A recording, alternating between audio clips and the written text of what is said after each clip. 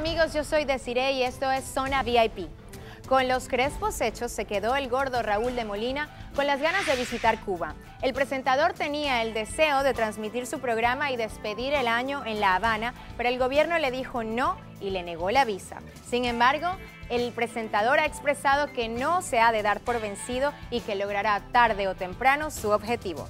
Raúl dejó Cuba cuando tenía apenas 10 años. El ex paparazzi celebrará en Times Square el año nuevo. La autopsia practicada al músico británico George Michael, quien falleció el pasado 25 de diciembre, arrojó resultados no concluyentes. Sin embargo, se cree que Michael falleció debido a un fallo cardíaco y algunas fuentes aseguran que el músico tenía serios problemas con las drogas y el alcohol. Esto podría haber sido una de las causas de su muerte.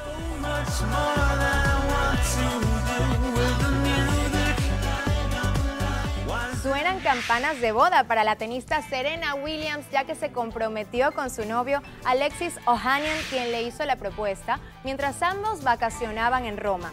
Con un poema en sus redes, William describió tan especial momento.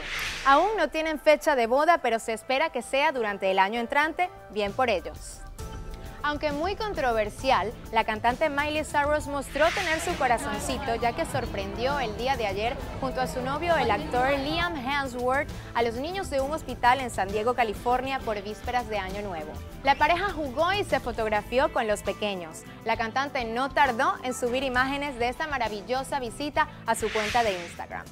¿Amor o marketing? Aún estamos con la interrogante. Lo cierto es que a tan solo un día de que J-Lo y Drake publicaran la misma foto de ellos abrazaditos en sus redes, ahora aparecen estas imágenes donde mm, se ve a la pareja bailando durante una fiesta y muy románticos dándose piquitos públicamente. Los artistas no han confirmado el supuesto romance, pero sí habían adelantado que trabajan en un disco juntos. Solo el tiempo nos dará la respuesta.